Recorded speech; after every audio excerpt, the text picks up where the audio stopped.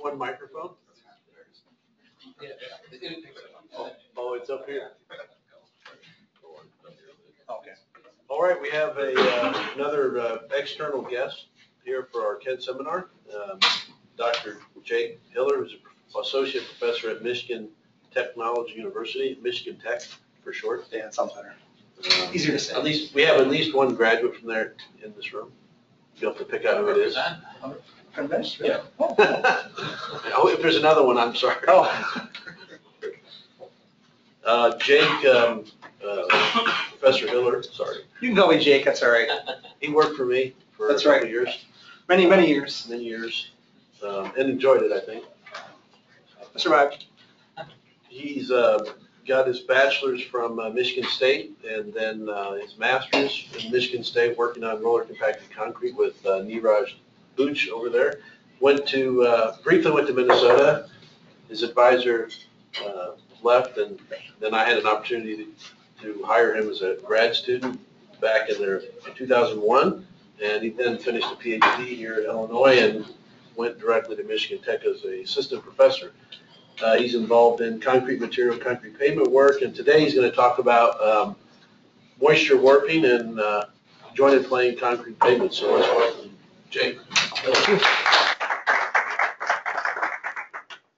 Well, I definitely appreciate the opportunity to kind of come down here. Um, it's been, I think, I came down here this summer. It was the first time in eight years I was down here. And so we got a chance to kind of catch up and see some things. And it's nice to kind of come down and, and, and see a few things again. Uh, so I get, appreciate the opportunity to come and, and, and talk with you guys. Uh, before we get started, uh, as always, one of the key things I learned as a PhD student, you remember this, Jeff, about acknowledgements.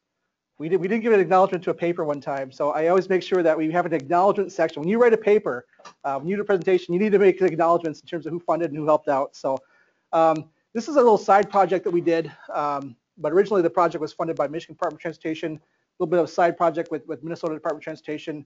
Um, there's Michigan Tech funds here. And then a few students worked on this. Um, Dr. Rita Lederle, uh, she ended up doing her PhD at the University of Minnesota, but she did her master's with us. A lot of her work is going to be here. Undergraduate Morgan Hansen, Corey Shorkey was a master's student of mine who did a lot of work uh, in the laboratory. And then a postdoc, uh, Dr. Yogini uh, Deshpande, she also helped out uh, a bit with some of this stuff. So just quickly here, uh, give you a little brief overview. Again, as Dr. Roesler said here, my BS and MS in Michigan State, PhD at the University of Illinois here, uh, finished up in 2007. Um, you know, it was, was, as we were alluding to last night, it was actually a really interesting time to be at the University of Illinois at that time because you ended up having a lot of the younger faculty uh, who are now the older faculty, Professor Roesler, Professor Tutumluer, Professor Buttlar, uh, you know, they were kind of newer faculty kind of coming into to the department here, uh, but we still had a lot of the old guard. We still had a lot of the you know, Ernie Barenbergs and Marshall Thompsons and, and, and those people there. So it was a real interesting time uh, to be at the University of Illinois. And uh, for those like myself that, that kind of came through the program at that time, I think we were, were really uh, was beneficial to us in many ways. Uh, the, the, one of the things I think that you know, I've talked with my colleagues over the years is, is the mentoring that we got from all those faculty members, uh, both their own advisors as well as the group itself was uh, tremendous in all of our careers. So we definitely appreciate that. I spent the last almost nine years here at Michigan Tech. Um, so first question people say Michigan Tech is where is Michigan Tech? Um, only one of you should know where Michigan Tech is. You can hopefully can find it here. I'm going to pull up a little map here of the uh, U.S. interstate system. And what's the first thing you'll notice about Michigan Tech is it's nowhere near any of the interstates and interstate system. Okay, you can kind of see all these little highways kind of coming up here, and as they start to get towards Houghton, they just kind of quit. They're like this is uh, there's not there's nothing worthy of, uh, of continuing the highway to kind of get up here. So um, it's about about four hours to the nearest interstate uh, from Houghton. You're taking a lot of back roads and stuff. It's a uh, I've learned to like it, but it's it, it's definitely up there. Um, this is sort of a, a, famous picture that was put up by some students here in the late 70s. Uh, they, they constructed their own little sign here and put this up uh, coming into the US 41 into Houghton here. Uh, end of the earth, uh, two miles, Houghton 4. So uh, it's kind of a famous picture here of Michigan Tech. So a little bit about Michigan Tech here. Um, again, it's in Houghton, Michigan, up on Lake Superior. beautiful area when it's not snowing. Um, about 7,000 students, uh, so a little bit smaller here than, than, uh, than University of Illinois. However, about two-thirds of those are engineers, so it's a primarily an engineering school. Um, we average about 200 inches of snow. Um, I know it's hard to fathom what 200 inches of snow is. Um, here's a picture of my kids. This is three years ago. Uh, this is the first day of spring. I kid you not. Uh, this is the side of my driveway here. This is about eight and a half, nine feet of snow um, from here, and is the bottom of the driveway. That's the first day of spring. That's March 21st, 2013. Not all winters are that bad. Uh, that one was particularly bad. Um, there's a lot of snow, uh, so you kind of have to learn to kind of enjoy it. Um, we have a thing called Winter Carnival, uh, which happens every February. Um, a lot of ice sculptures. Here's one. It's hard to see. It's hard. it- It's much more. It's much better to kind of see it up, per, up uh, person close and all, up, up close and personal. Excuse me. Uh, this is basically a, a sculpture of uh, City of New York. Here's the uh, you know Statue of Liberty, Brooklyn Bridge. Uh, the details of these are month-long competitions that kind of puts together. Uh, they really kind of get out and enjoy the winter. Um, if you don't, you kind of go mad pretty quickly. So um, during the summer, when students all leave, that's the best part about Michigan Tech. Uh, it's actually a beautiful area. A typical summer day is about 72 and sunny with light breeze coming off the lake.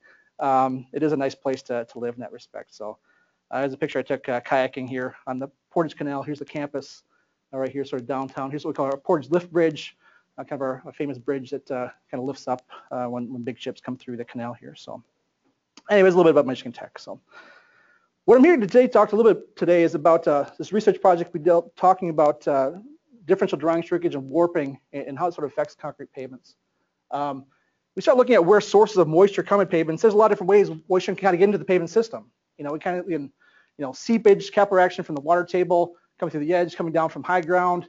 Uh, unfortunately, through surface discontinuities, uh, fortunately, uh, we don't do things perfectly, so we do get some discontinuities and cracks and whatnot in our pavements, but water get in a lot of different ways. Um, when you think about concrete, though, uh, you kind of think of concrete as almost like a, a relatively impervious, impervious uh, material, okay? You know, water will pond on concrete. Um, it's, it does have some porosity, but again, it's really not, uh, it- it's very difficult for, for water to sort of percolate through it. It will eventually, but it's going to kind of take some time. When we start looking at concrete uh, at different scales here, we do have pores we're dealing with here. You know, looking at scales here, we're going to have some trapped air pores. We have entrained air pores. You know, we're kind of coming down here to sort of the, you know, this maybe 100 microns is about maybe the, the width of a human hair. We start looking at some of the hydration products here, um, but we have a lot of capillary voids, uh, particularly in high water cement ratio um, mixes. We're going to get a lot of voids from this. We do get uh, gel pores. When we start looking at that, at the nano levels. Uh, difficult to kind of see, but the fact is when you're looking at millions or billions or trillions of these pores, they start to add up. Okay, and this is a huge portion of, of concrete. Um, and it does have some, some detrimental effects in what we deal with. Um, and one of those detrimental effects is shrinkage. Um, shrinkage is just sort of a something that happens with the concrete when those pores start to empty. Okay, whether they be capillary pores, whether they be gel pores, a little more difficult. Um, we start to get this, this basically water leaving the system. Okay, and water's leaving the system. We end up getting sort of this curved menisci here. We can kind of go back and look at sort of the capillary tension we're going to get here. We start to get this vacuum kind of pulling on those pores. And again, we start talking about millions or billions or maybe trillions of these pores emptying, it's going to kind of shrink. Okay. It's the same thing we start looking at uh, your skin in the winter. Okay. Your skin gets a little dry. Okay. We start basically seeing that the water sort of leaving your system, sort of drying, start to shrink a little bit. The same thing's happening with concrete. And you know, when it's a, when it's a um, depending on the level, it can cause some some serious problems uh, that we really haven't addressed very well in concrete pavements over the years. So. So again, moisture can kind of get in out of these pores a little bit, um, and really sort of based on the sort of the simplicity of our pavement geometry. Uh, you know, it's amazing to me to think we've had 2,000 plus years of pavements, and we're still stuck with a rectangular block. That's the best we've kind of come up with. But sort of the simple geometry is is, is good and bad. Um, it, it's it makes things uh, simple in some ways and very difficult in other ways. We have this basically simple geometry where at the surface we're starting to get a lot of things happening. We can get you know rain events, so water's getting into there. We might have low ambient relative humidity, so it's going to be drying from the surface. We have loads coming to that surface. There's a lot of things happening to that surface. Um, and so what we end up having is sort of maybe the top, I'll say 50 to maybe 150 millimeters, two one to three inches. We're going to start to get a lot of moisture movement in that area of the concrete. Okay. How about below that concrete? Maybe below two or three inches. What's our concrete going to be like in terms of moisture? You know, it's, it's pretty consistent, right? It's really not changing a lot. Those top couple inches, though, a lot of things are happening based on what's happening uh, in the ambient environment here. So what that ends up leading to, though, is a very nonlinear moisture gradient through our concrete. Okay, and that causes a bit of problems when we start dealing with uh, uh, design and analysis of concrete. So when we start looking at moisture loss, there's a couple different ways, of course. We can lose moisture through drying, uh, but we also lose- moisture through autogenous shrinkage or self-desiccation. Okay, This is basically just the, the hydration process happening, consuming that water and causing some shrinkage. What's the difference between autogenous shrinkage and drying shrinkage, though? You want to volunteer this? Yeah. Well, both of them, are- both of them are going to lose water. Okay, one's basically kind of absorbing through sort of the hydration process is sort of self-consuming or self-desiccating. Okay, that's autogenous shrinkage. So what's one of the biggest differences in terms of where this is happening? Where's autogenous shrinkage going to happen in the concrete? Internal, the whole thing. Okay, the whole thing's going to go through autogenous shrinkage. You're basically going to get a relatively uniform shrinkage throughout the entire slab. Okay, whereas drying shrinkage is really going to happen only in the top surface. Okay, so we start talking about the nonlinearity. It's really because of drying shrinkage and not necessarily because of autogenous shrinkage. And we can control both of these through, through mechanisms here. We can control autogenous shrinkage by having a little bit higher water strength ratio. That being said, the higher water strength ratios tend to lead to more, more drying shrinkage, okay, more capillary pores. So that becomes a bit of a, a balance that we kind of have to go through here. We talk about moisture uh, loss in concrete uh, two different ways. We call it something called drying shrinkage or something called warping. Okay, and really this is basically the same mechanism. It's basically losing water uh, through drying. Um, again, tied to gel pores, tied to smaller capillary pores. Um, way I look at this here, I like to call differential drying shrinkage permanent shrinkage, shrinkage that when it happens, it's not coming back. And I like to think of warping as something that if you re-wet that concrete, it will sort of flatten out. Okay, but it's really the same mechanism that we're sort of seeing here. We start looking at volume changes in concrete here. Uh, this starts to affect our concrete in terms of the stresses that are built up from this. Okay, we typically look at the moisture. Um, when we look at analysis, we look at it from an equivalent temperature difference. What temperature difference across the slab from maybe the top to the bottom would it take to give us that same shape of the slab? Uh, it's just computationally a little bit easier to kind of handle that way. So we can basically get sort of a, a typical curved up shape, which you see a lot for drying. You have a curled down shape, which you see from a, a what we call positive temperature gradient, where it might be hotter on the top than the bottom. But basically, the, these deformations either caused from moisture or from temperature, and the stresses are going to be caused from that self-weight, basically the restraint that's causing that self-weight kind of uh, pulling that slab down, trying to get back to a flat slab condition. When we start looking at the different things that cause volumetric uh, changes here, I kind of put these in five different categories here. Um, we could have curling from temperature gradients. We have warping and differential drying shrinkage. Again, same mechanism. We're losing water generally from the top of the slab here. We have something called construction curls. Anyone heard of construction curl before? Construction curl is kind of a, a um, I don't want to say controversial, but uh, it's it's still sort of being debated. When we place the concrete slab, when it's going through initial hydration, that initial and final set, there's probably going to be a temperature gradient through that when it's set there. And so the original thought was to kind of get that same flat slab when it's kind of being set, you need that same temperature gradient to kind of go through that. And there's some evidence that says that that does happen. There's some evidence that says it doesn't happen. There's also some evidence that says this original construction, curl really kind of goes through a, a creep. The creep of concrete at the initial, at the early ages is actually pretty high. There's a high ability to creep or sort of relax those stresses, relax those, uh, those strains. And so maybe a lot of that construction curl might sort of get taken up from that. But these are sort of five different components that can kind of cause our slabs to do um, to go through some sort of volumetric strain changes. So why does this matter?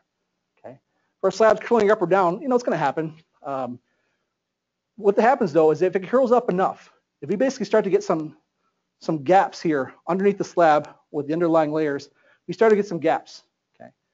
And then either from just the self weight of the slab itself, maybe being high enough to generate enough stresses to crack it, it could crack.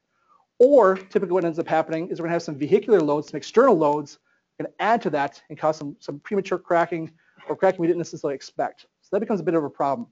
The key thing here is when we start to get these this warping or temperature gradients curling, is you start to change that boundary condition. Okay, we go back and think about our, our Westergaard edge stresses. I'm sure you all want to refresh our uh, Westergaard edge stresses here. But one of the key things that we assume there is we had full support. Okay, we had a load, a single load at the edge of a slab that was fully supported, okay? And the fact is when we start to have this curling and warping, that's not quite going to be the same. It's not quite going to be that way. So in that case, it might change our primary failure mechanism, or it might cause premature fatigue failure if this isn't addressed in design, which in the past, it really hasn't been. So we start looking at slab deformation here. Here's our good buddy Juan Pablo Covarrubias here. This is an old picture. I like to recycle this one here. Uh, looking at basically a, a, a built-in curl, a curl of the slab is sort of happening. You see he has sort of a string line here. You kind of see the shadow. It might be hard, difficult to see from the, from the back there. we're basically seeing a gap, a pretty large gap. Uh, and this is a case where you start to see a lot of probably differential drying shrinkage in a very dry area, very dry climate, causing the slab to kind of curl up like this. Okay. Um, and again, if it's something that we don't necessarily take in consideration that that's going to happen, we have unsupported corners, um, we're going to have premature failures. We're going to have failures that uh, we didn't necessarily uh, design for. So let's, talk a little bit about how the mechanistic empirical pavement design guide or pavement design, whatever they want to call it this month, um, how they sort of deal with temperature and how they deal with moisture. So what they're going to do here is they're going to break it up into sort of really two different components. The equivalent temperature gradient, which is really made up of a temperature gradient, so an actual predicted temperature gradient, temperature from the top minus the temperature at the bottom, as well as a moisture gradient. Uh, there's some serious issues with the moisture, there's some issues with both of these in my opinion, but uh, there are some issues with the moisture gradient, which we'll talk about here a little bit later. And then we have something I like to call built-in curl, okay? And this built-in curl is really made up of three components here. The construction curl, this permanent differential drying shrinkage, the drying that's happened that can't be reversible, um, as well as maybe some creep components that sort of counteract this in some way. Um, there's a number that they put into the, the uh, design guide for the built-in curl. Is anyone familiar with this, this input into the MEPDG? Does anyone know what the default value for that value? What what percent, what what degree Fahrenheit temperature difference, equivalent temperature difference we now use for built-in curl? Is anyone familiar with that number? Well, basically, in the design guide, they basically say this is going to be negative 10 degrees Fahrenheit built-in curl. There's an equivalent curl from these factors that they've said in the design guide is going to sort of have, we're going to kind of not start from a flat slab. We're going to start from this negative 10 degree curled up position, uh, sort of the default. And one of the big issues with the MEPDG is you can change that value, uh, but when you change that value, a bunch of bells and whistles kind of pop up and say, don't change this number unless you really, really know what you're doing, okay? Um, most people don't know what they're doing, um, but uh, I'll talk a little bit about that value here. But we'll sort of add these, these equivalent temperature gradients from, from temperature, moisture, this built-in curl, and we'll get sort of a total equivalent temperature difference, and that's what we're going to analyze. This is something that's going to change over time as temperature changes, as moisture changes. Why this becomes a little bit important, though, is if we have enough built-in curl, uh, this is looking at a frequency distribution of temperature difference for a particular site. Uh, this is a three-dimensional one looking at sort of the nonlinearity or self-equilibrating stresses here, uh, something that we did here back at the University of Illinois when I was here. If you have no built-in curl, you can kind of see we have some cases where we have a negative temperature difference. We have some cases where we have a positive temperature difference. So the slab's going to be sometimes curled down when we have a positive temperature difference. It's going to be curled up when we have a negative temperature difference. And that's going to kind of be to expected. But the fact is, if we have enough built-in curl, if the built-in curl is, is large enough, it's basically going to take this distribution and it's going to shift it in one direction, to the negative direction here. In this case, we have a negative 18 degrees Celsius built-in curl. It's shifting this entire distribution to our right um, to the point where you can see, if we look at the zero degrees of positive numbers here, we have nothing. We never ever have a slab that's curled down like this, okay, if that built-in curl is large enough. So this becomes a bit of an issue. I want to talk a little bit now about reversible shrinkage. Um, so a little interesting story about reversible shrinkage. This was, was taken uh, from the MEPDG design guide here. Um, what we're going to assume is that we're going to have some drying of our concrete is going to happen, and we're going to say some of that some of that is reversible, meaning if we kind of take this, we'll actually plot it this way because mostly uh, you see these curves kind of plot this way, where if basically our concrete is drying, we're going to sort of increase our strain levels as it's drying, okay? But if we re-wet it, we can actually sort of reverse some of that, but we can't really reverse all of that. So if we kind of look at this here, again, we go through a drying period of our concrete sort of hydrating, we're getting a lot of shrinkage that's sort of happening. If we re-wet that concrete, we can reverse some of that, but you see some of this is permanent. Some of that's not coming back. Okay. This was basically developed uh, for the MEPDG, and they assumed that half the drying shrinkage in our concrete, the MEPDG, is reversible and half is irreversible. Okay. Now, where did they get that number? This is a quote. I won't name who told me this quote. They came in here and said, well, if you do this, you put two fingers here, and then you put two fingers here, uh, it's about 50, about, about half and half. So that's the number they use for 50%. That's where that number came from. Okay. There's no rational basis for it besides that we see this in the textbooks a lot. We know what happens. Um, we should address it in some way. So we went and we kind of looked back um, This is a, a Rita Lederle when she was a master's student of mine. We kind of went back and we tried to look for a lot of historical uh, references on, on reversible shrinkage. And we didn't really find a lot. Um, what we did find quite a bit was from a gentleman, L'Hermite, um, who actually RILEM has a, a medal for young researchers named after him. Uh, did some in the late 40s and early 50s. He did a lot of work on, on reversible shrinkage. And he's basically saying here, again, depending on how you're curing things, how what, what sort of curing conditions are initially, it changed the amount of reversible shrinkage. And in some cases, you know, 40 to 70% of that shrinkage might be reversible, okay? It was really dependent a lot on how you cured that concrete. What was interesting about this, this is, this is all in French, which is just French to me. Uh, luckily, the student was actually working on it, uh, grew up speaking French, so she was actually quite advantageous that she kind of worked on this project. So she found a lot of information for us uh, based on this, but there wasn't a lot of information about this. There wasn't a lot of things that kind of went on with this. Um, we start looking back into why this is happening. Uh, this mechanism is not well understood. Okay? We know what happens. We can, we can visually test it. We can see it happening. Why it's happening is still debatable. So uh, Adam Neville in his textbook here looked at saying, you know, these, these uh, calcium silicate hydrate gels are forming. Uh, they kind of create some bonds here during the drying phase. Uh, when it's exposed to moisture, the bonds kind of swell, but they kind of hold tight. So basically saying some of this is going to be reversible, some of it's not, based on these bonds, based on these van der Waals forces for the CSH gels. That's just his hypothesis, though. There wasn't really a, sort of a uh, research study done to kind of assess why this was happening. Some more recent work here, again in France, was kind of looking at maybe part of this, this why some is reversible, some is not, is based on microcracking. You get some micro cracks that are going to kind of form when this drying is happening. Those are irreversible. Those aren't going to come back together again. So again, there's, there's still some debate and looking at why this is happening. The fact is we can observe it happening, but the why is still something that's uh, sort of left uh, unsaid.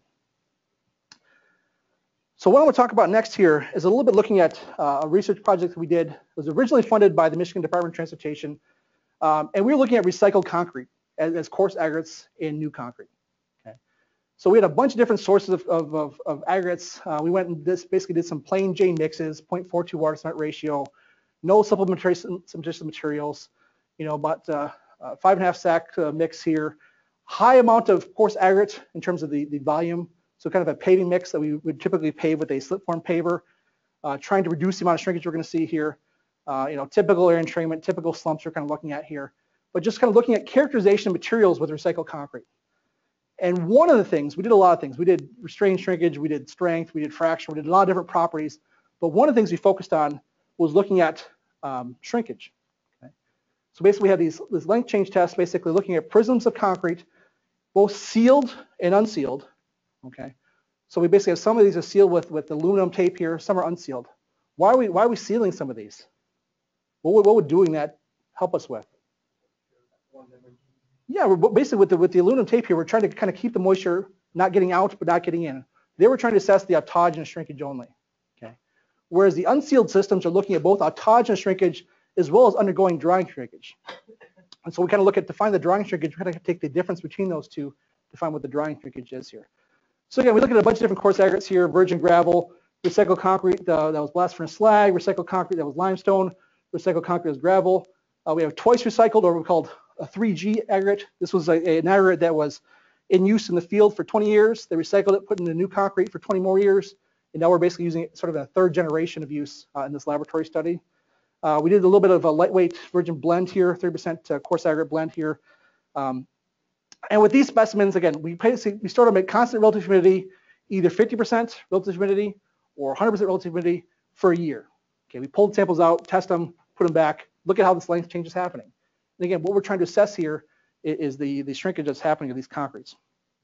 So if we sort of look at this here, uh, a lot of data is just kind of looking at this, but this is looking at the unsealed systems, it basically fog cured over one year. Actually, this only shows 100, 100 days of data here, but um, and what we saw here is that the crushed gravel, the, the virgin aggregate, um, had not a lot of growth, okay?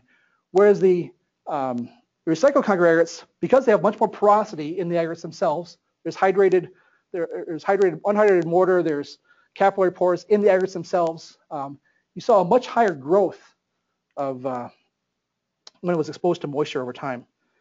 If we take these and look at the drying shrinkage um, the 50% relative humidity cure, we kind of see the same thing where the crushed gravel, it, there was shrinkage shrinkages going on. Those drying shrinkages happened, but it was much less than the recycled concrete aggregates. So that was one of the conclusions we kind of came with here. There's more we could kind of talk about, but that's a whole other lecture we don't really have time for. What we decided to do though is we said, you know, after a year we did this study, and just like most people, you, you do a study, you've got a lot, of, a lot of concrete sitting around. You know, what do you do with this? Do you just throw it away, or, or there's something we can do with this? And we've been kind of looking at recycled uh, concrete, looking at reversible shrink, and saying, you know, there's something about this. There's something in the MEPG, MEPG, eh, MEPDG about this. But yet we really didn't understand why things kind of fit together, why it was this way. And talking with some of the developers of the MEPDG, we kind of figured out that maybe we can kind of take some of this material and kind of reuse it for a little, a little side study. So again, we had some samples that were cured for 100% relative humidity and a kind of a fog cure for a year.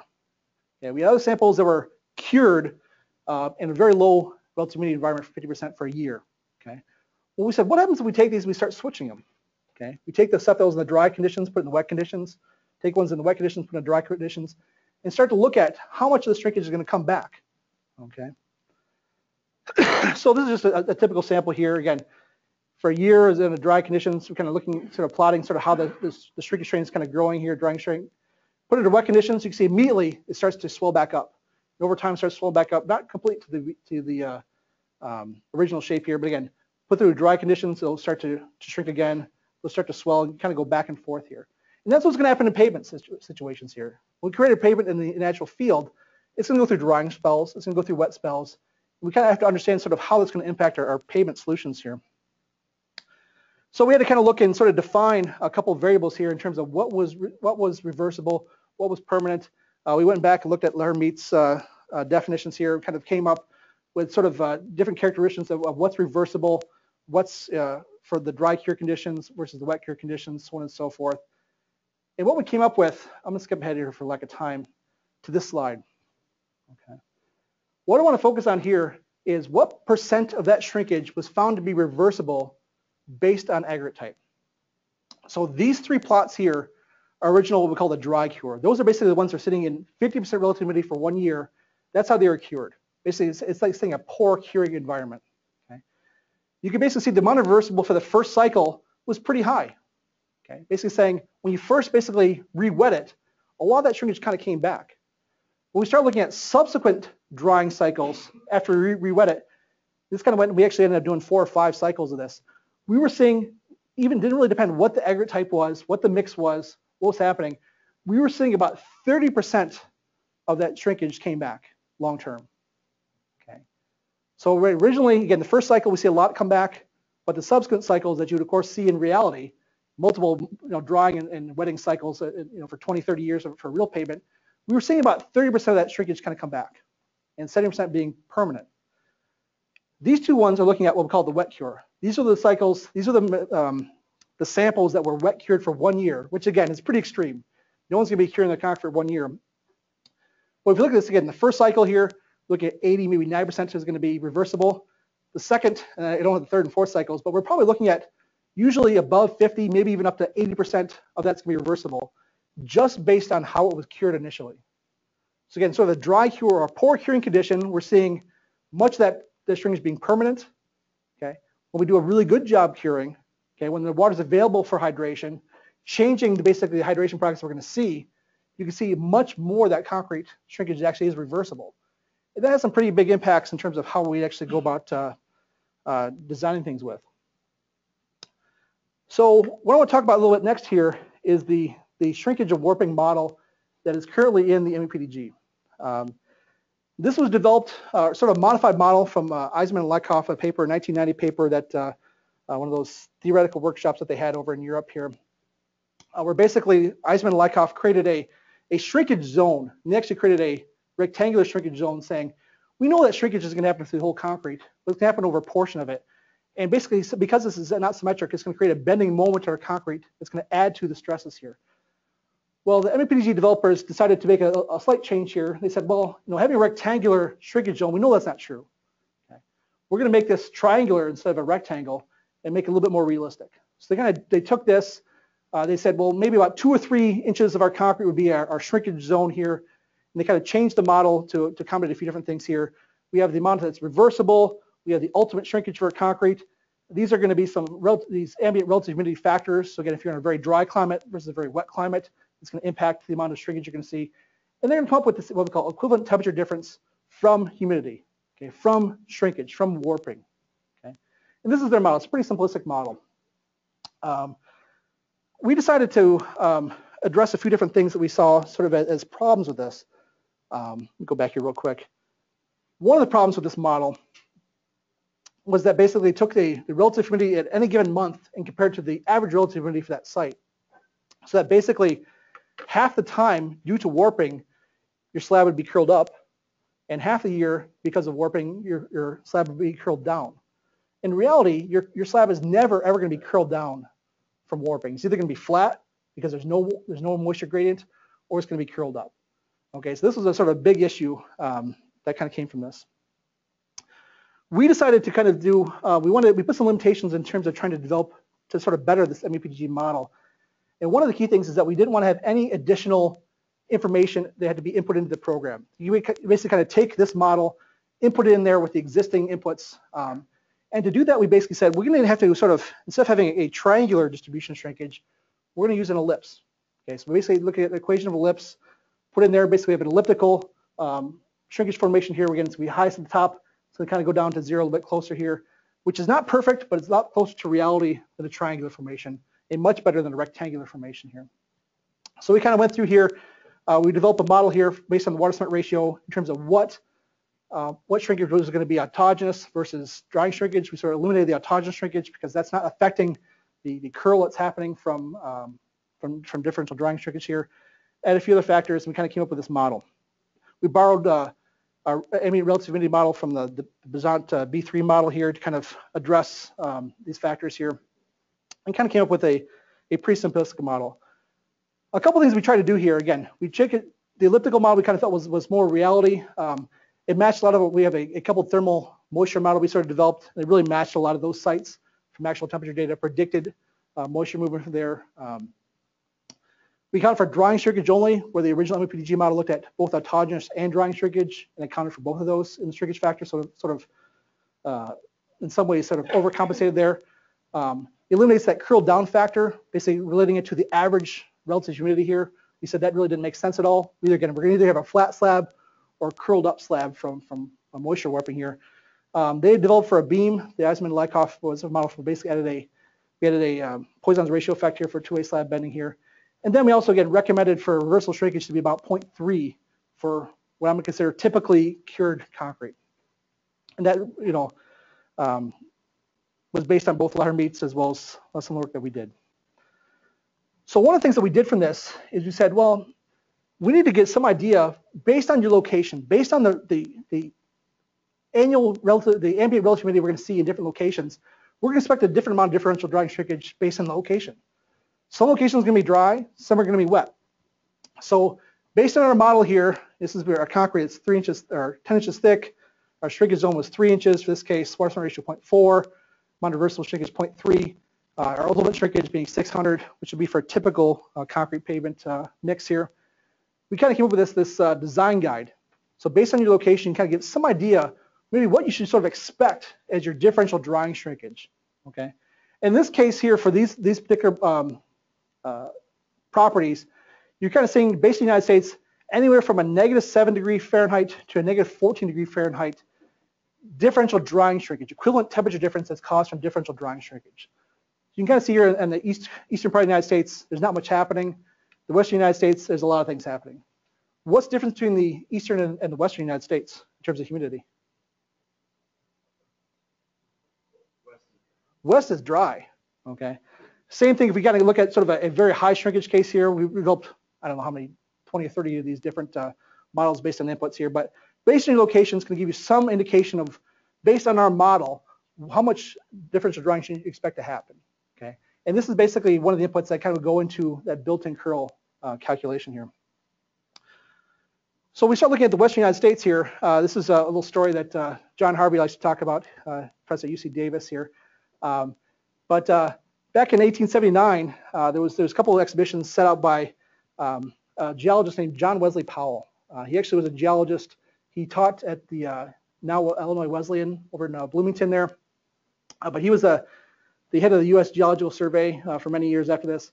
He's a, a Civil War veteran. He lost his arm in the Civil War, uh, but he was tasked to kind of go and survey the Western United States in the 1800, 1800s.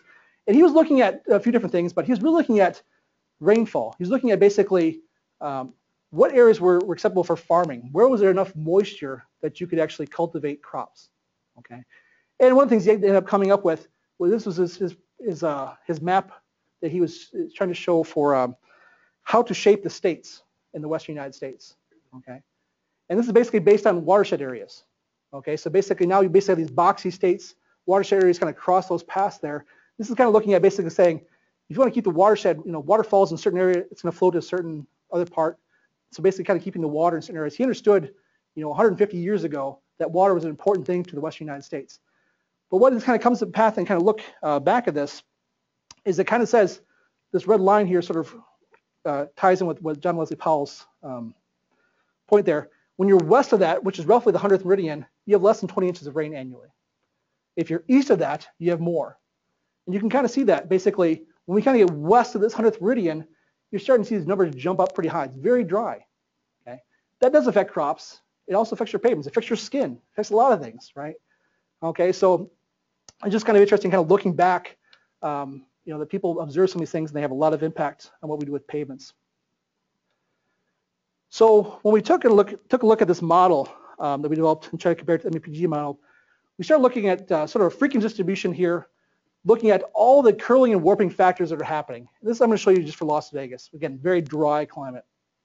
I know it's very difficult. There's a lot of a lot of busyness kind of going on here. But with the existing MEPDG model, we look at moisture warping. They're basically saying there's zero moisture warping based on their current model in Las Vegas. I'd have a hard time believing that. Okay. They recommend having a negative 10 built-in curl from that. So, this, so this green portion here. The light blue portion is basically how the temperature differentials have changing over a 20-year period. So you can see sometimes we have a positive temperature differential causing curl down. Sometimes we have a curled up situation. We have a negative temperature differential. This is kind of just looking at sort of how it's changing over time. Okay. The purple one is basically the addition of all three of those. Okay. So sort of the total equivalent temperature difference that's sort of happening and how it's sort of changing. And what I want you to focus on is sort of what percentage of the time we're in the positive in terms of the purple versus the negative. You can say the majority of the time here we're in the negative portion here in Las Vegas, but still quite a bit of time we have sort of this purple cases where we're actually above zero, meaning we have a curled down slab, which is pretty hard to have in a place like Las Vegas. So if we look at our proposed model, our, our changes here, looking at sort of the built-in curl, um, the differential drying shrinkage here being about negative 15 for our case here, uh, moisture warping here being um, a negative 8. Uh, looking at the, the, same temperature differentials is basically going to sort of shift us down. We're only looking at a very few amount of times where the purple the total temperature or total moisture curl is going to give us above zero in a case like Las Vegas, okay, which is probably closer, closer to reality um, for, for those really dry cases here. In fact, if we kind of look at this and sort of look at it from the MEPG standpoint here, with the MEPG model, we had upward slabs about 74% of the time. With our model, it jumped up to 91% of the time. Um, of course, the magnitude of those also jumped up quite a bit. Uh, from a design standpoint, the differences between those two models, if you plug those into the MEPDG and you run the MEPDG and try to find out, keep above a, keep below a minimum level cracking, 90% reliability. With the current MEPDG model, it said you need 10 inches. Okay. With the changes that we propose in our model, that same slab, same traffic, you need 12 and a half inches to withstand that cracking. Okay, that's a pretty big difference. That's a pretty big difference. Now, this being said, that's a pretty extreme case we're looking at here too. Okay, so and we looked at a bunch of different areas here. So like areas, for instance, like Seattle, which is a little more wet, you're not going to see as much differential drying shrinkage. You're not going to expect that much. The, actually, the, the current MEPG model and our, our changes to our model gave pretty much the same answer in cases like that. But again, it's very site dependent, extremely site dependent. Okay. One last thing I want to kind of show here um, is sort of how this ties into design. Uh, when I was at University of Illinois here, one of our products that we sort of developed here was a program called Radical. Um, this is a program we developed for the, the, uh, uh, the, state of California, which is sort of a, I'll call it a MEPDG light. Okay? It looked at fatigue cracking in transverse direction, longitudinal direction, and corner cracking for concrete pavements, so jointed plain concrete pavements. Okay? Why, what, what, what kind of cracking does the MEPDG predict in fatigue now? Does it predict longitudinal cracking, transverse cracking? Transverse top down, bottom up transverse cracking. Okay. One of the things, particularly if you start going out west, Washington State has a lot of this, California has a lot of this. They have a lot of corner cracking. They have a lot of longitudinal cracking. Okay? When you go to the Midwest, you see much less of that. You don't see nearly as much as of, of, of uh, longitudinal cracking, unless you have a widened slab. If you ever drive through Wisconsin, they have a lot of widened slabs. Every single one of those has longitudinal cracking. Why don't you want longitudinal cracking? If you could choose which, which failure mechanism you could have for a concrete pavement, transverse or longitudinal, which one would you choose? Why would you choose that? What's the problem with longitudinal cracking? There's a couple problems with that. One is that basically when the crack happens, it tends to propagate through the slabs. So it can kind of propagate, you know, miles down in the same direction potentially. Does anybody ride a motorcycle? Not no, no.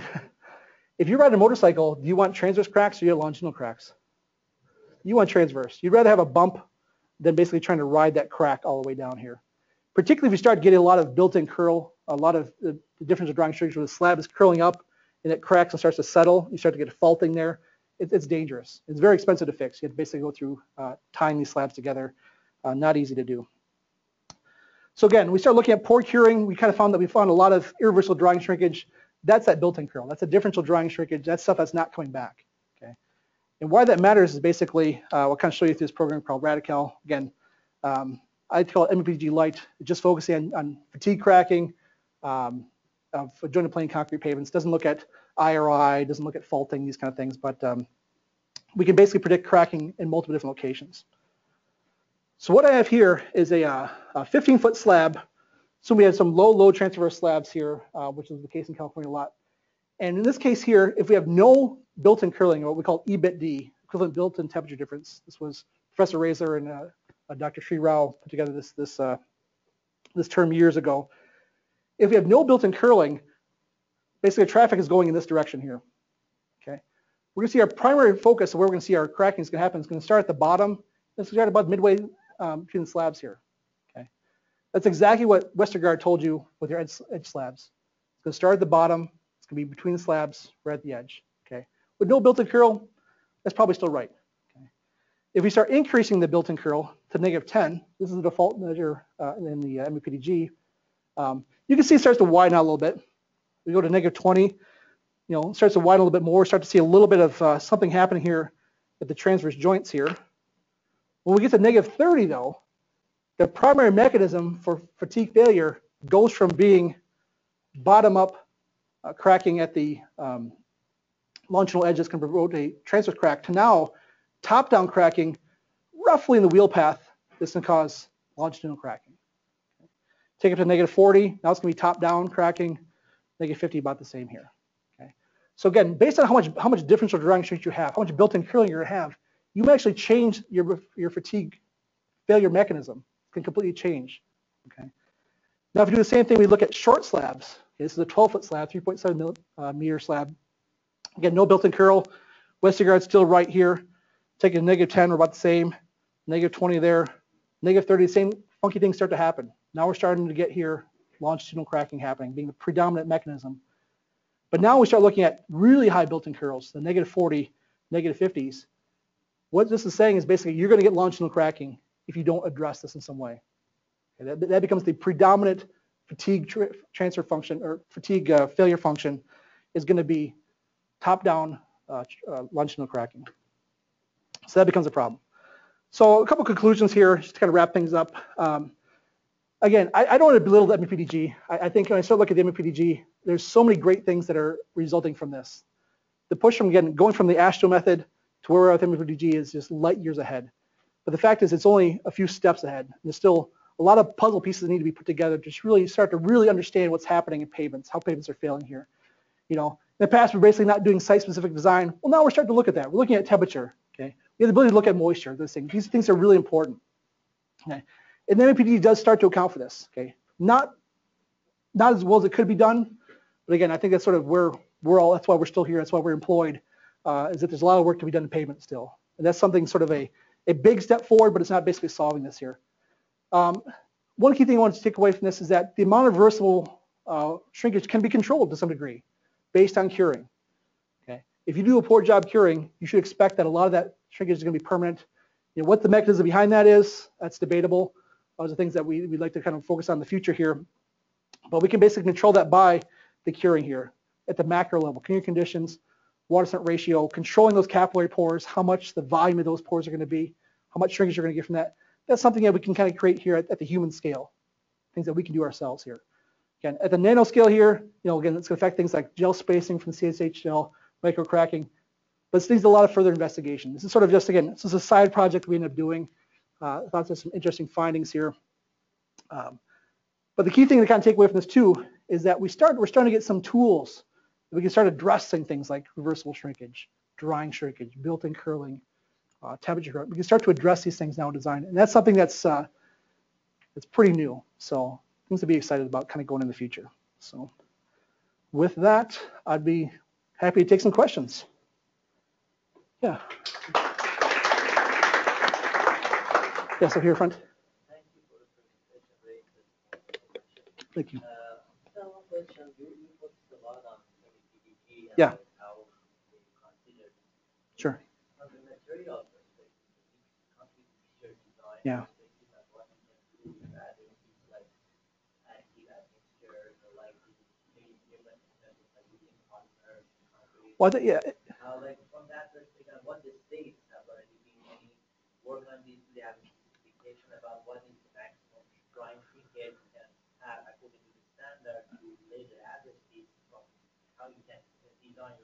I, I- think, so, so from a logical perspective, again, we're all engineers here, so I think logic tends to, to work pretty well with us. That seems like a logical next step, right?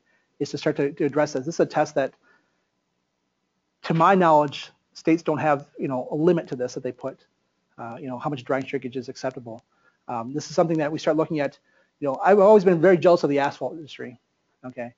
Uh, Superpave isn't perfect, but it's a fact that they actually went through and they look at some fundamental material properties trying to characterize asphalt binders and how it affects pavement performance. And that's I really think concrete is, is, is kind of lacking behind, is that we, we- you know, we step, we do a slump test, okay? We do a, you know, 28 day compressive strength test. We're not even failing compression, okay? But, you know, start looking at it from a little bit more, not this is, this isn't advanced materials. This is basically pretty standard stuff. Pretty standard tests have been developed for years, but we still don't do it. We still don't put these in standards. And that's something that I would sort of say is a sort of next step is to start putting some of these things in place to understand that these are things that have a huge impact in terms of when your pavement's going to fail and how it's going to fail. Yet we completely just ignore it. And we focus on strength only. It's, you know, high strength is the best. Uh, I was talking to um, one of my former students who was working in uh, Wisconsin DOT, and they want to use uh, ultra high performance concrete, UHPC, in, in concrete pavements. And my first question was, why? Well, higher strength is better. So I go, to some degree, yeah, but there's there's things that come with that. You know, there's more autogenous shrinkage that comes. There- There's so many other factors that are going in that. And right now, again, we start we're starting to have the tools to handle this, right? The MPDG isn't perfect, but it starts to be able to handle some of these things, but yet we're not taking advantage of it. Uh, one of the things I'm a, a huge advocate of is the understanding basically how materials, mechanics, and performance are all intertwined. In that basically you need to understand that materials could drive the pavement to be successful, could be could fail completely. Uh, it's all intertwined. And we tend to work in these little silos. You know, well, we're here's my strength. I'm going to design. Okay, materials. Well, that was done two years in advance. We're we already have a design done. We can't change materials. It's like that doesn't make sense, right? They're all intertwined. How the pavement's going to perform. We need to do a better job of that. So, excellent observation. Here. Well, uh, excellent presentation, Jake. It's good to have you back. Oh, appreciate it. Very interesting presentation. Uh, I was, uh, I was curious, the, uh, uh, the map and the typical shrinkage, well, the temperature equivalency, Sure. the things, differences you showed. Uh, The deficit surplus, we usually use the Torrent-based moisture index. I think it's commonly It's, used. similar. It's, it's similar to that, yeah. Have, have you checked? uh, We haven't how- checked it. We haven't checked it against that, but I bet you, you know, That's, that's it's a fair primarily thing. used in MEPDG or. Yeah, it, it's you know it's the same thing. If those of you are familiar with the Thornthwaite Moisture Index, it's sort of looking at uh, evapotranspiration and you know, basically surplus of moisture versus a deficit of moisture. But I would bet I would guarantee, you know, we looked at that was developed from the ambient relative humidity maps. So basically, I think 250 or 300 different sites looking at the you know the ambient relative humidity of those sites and kind of creating a map uh, from that. But I bet you would it probably coincide pretty well with that. Probably. Yeah. So The other thing is also in Minnesota, they have now sixty-year design labs. yeah, that's always something that, um, you know, California was one time was talking about hundred-year designs, and you're like, you know, when I think about pavements, I think we've got a, a better handle of predicting with things like fatigue cracking, things like faulting. But you start looking at, say, materially distresses, ASR. We have no idea how to predict when ASR is gonna happen. ASR is gonna happen in every concrete in the world. But when is it gonna start to manifest itself as actually cracking, it's gonna be detrimental to your pavement? I don't know. You know, how can, you- is it gonna happen for sixty years? Maybe, you know. But you're right, the Minnesota approach is basically saying, well, let's put our best materials, our best dowel bars, a little bit, you know, an inch extra thickness, that's our sixty-year design. But there's really no guarantee of that. We're supposed to be in flying cars in 60 years, I think, so it shouldn't, shouldn't matter in, in the end here. I've I've been watching the Jetsons for years, so we're, we're, we're pretty close. They do have calling cards, I'll do it. by the way. Oh, I've I've been holding up, we're we're like 25 years behind, behind the grade, I I don't know what's going on here. Pat knows that, and it is a flying car. That- That's, that's where I'm at, that's right. There's actually a parking lot for snowmobiles up there, I kid you not. Uh, for all your drying shrinkage that was stored at fifty percent RH, did those receive any moist curing before going in? Uh, one day, one, one day basically just cheesecloth on top. Just covered here? Yep. So, so it really wasn't uh, excessive. But basically, it was meant to be kind of like the, the minimum, minimum curing possible before you demold them. Yes. And some of the pictures you show about the testing, um, you show some beams, and I was wondering if, uh, is, is there any effect of actually testing size effect or shape effect? Like instead of a beam, it's a, an actual plane. Um, there would be, there would be. Now, again, what we did is we used the ASTM uh, C157, which is a standard test, okay, three inch diameter, um, three by three inch specimens. And we do the same thing. One of the things that uh, our undergraduate student that's starting to do this is we're trying to look at, you know, well, you can, you're never going to cure for a year. What happens if you cure for one day versus three days versus seven days versus say 14 days? Is that enough? Okay. And we're doing this now, we're doing with mortar specimens, one inch by one inch square specimens, about 11 inches long. That's gonna be different though. You start thinking about the, the, the drying that's happening. The drying's happening on the outside. If you think about three by three inch block, that whole specimen isn't going through uh, drying shrinkage itself, just the outside of it, the core is. You start looking at one inch by one inch, the size effect from that. Now maybe, maybe now, now maybe the whole thing is gonna go through drying shrinkage eventually. Uh, cause it's basically closer to the surface there. So I'm sure there is a, a huge size effect to this. That, uh, you know, it's, there's a lot of challenges we, we have, you know, from this and, and all the work that you guys are doing as well. There's always, there's always challenges to kind of be uh, looking at, and size effect being a, a big one that we do. Be able to scale from laboratory type size things to, you know, uh, civil engineering scale, which is just huge. So, but I'm sure there's, there's a, there's a size effect to this. I share a little bit information about the experiment you do the, um, the cycle for, for the drying and wetting, drying and wetting. Like, what, what the procedure, what you're saying, or? Yeah. so basically, it's, it's, it's- this isn't rocket science, again, this is, this is rocks and sand and cement, right? So basically, you're gonna create these specimens here, um, we do roll them after one day. Some of them we, we encompass with a aluminum tape to kind of seal in as much as we can of moisture, to try to sort of isolate the autogenous shrinkage. We're basically gonna take that, we're gonna put it into, uh, a fifty percent relative humidity room, it's gonna be exposed to all surfaces, as long as it's not, uh, uh, with the aluminum tape foil. Um, it's just gonna be sitting there in, a, in a controlled environment there. The same thing, we take some of those, we put it in a hundred percent relative humidity room, basically a fog cure. It's basically always, it's not sitting in water, but the ambient relative humidity is gonna be hundred percent relative humidity. So again, those specimens actually swell up a bit, because there's more moisture than actually need. So, um, we take them out, the first couple days, we'll test it every day, we'll measure the specimen, because it's changing a lot those first few days. Then after, you know, maybe every, first five days, we'll check it every day, then maybe every week, and then, you know, we start to get after a month, it's really not changing a lot. You, you can test it every month or two.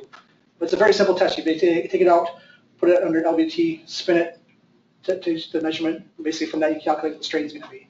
You know what the original the shape, the shape was. You know the change in, in the uh, uh, that dimension. It's a pretty simple, pretty simple test. So. You just take it out, you test them, and you put back into And then you put it right back in. Yeah. Unless we basically ascertained, when we started flipping them back and forth, we kind of said if we started getting three or four days in a row with the same reading, we kind of said that sort of leveled out. Then maybe we might take it from being in a wet cure, put it back into dry cure, kind of flip it around again. Oh, So, but we want to make sure it's sort of stabilized first. That usually takes about a month or so. So. Much easier to stabilize when it's getting wet versus drying. The drying takes a long time, the wetting, you know, it's, you hop in the shower, you get wet pretty quick. Uh, to dry off takes a little while, right? So, same thing with the concrete. But I think after one day, just uh, drying shrinkage, the torches shrinkage, not going to affect after one. day. Yeah, the Taja shrinkage, you know, for about a month. You know, once you, after about a month or so, your Taja shrinkage is pretty, pretty stable. It's not gonna change at that point, so. But it takes about a month or so. Maybe, you know, ballpark, could be sixty days, could be twenty days, but somewhere in that range. Typically, it's gonna be very stable. But the dry shrinkage is what's cha- changing all the time. That's a Good question. Let's thank uh, Professor Hiller for his talk. Well, thank you, I appreciate your, your time.